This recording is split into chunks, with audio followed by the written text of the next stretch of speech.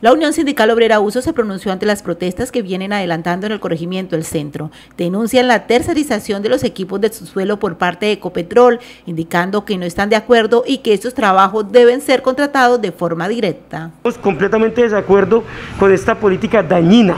para Ecopetrol y para el país. Usted ha dicho que esto puede desembocar en una huelga en Ecopetrol. Claro, esto se puede ir agrandando y se puede ir agrandando porque le estamos demostrando y le estamos evidenciando al país, a los trabajadores, a la comunidad en general,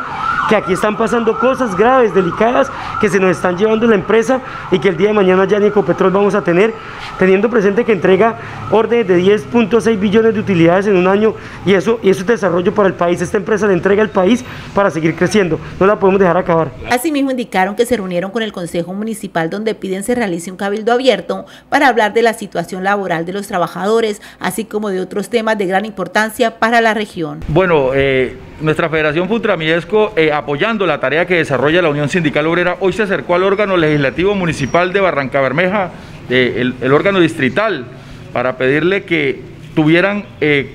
atenta nota de la situación que está viviendo el conflicto laboral con Ecopetrol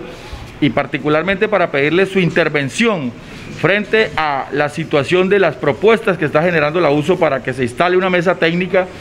con, la mayor prontitud y que también se atienda el problema del desempleo a partir de la apertura del descongelamiento de la nómina y vinculación de temporales en nuestra localidad y que por supuesto se activen mecanismos del empleo social y de la renta básica para ayudar a las comunidades que están realmente pasándola una situación muy difícil y que podamos realizar un cabildo abierto en el cual discutamos el futuro del empleo de la región y particularmente el que tiene que ver con el derivado de la industria del petróleo. Manifestaron que continuarán defendiendo las operaciones directas y no permitirán que se den proyectos que vayan en contra de los derechos de los trabajadores.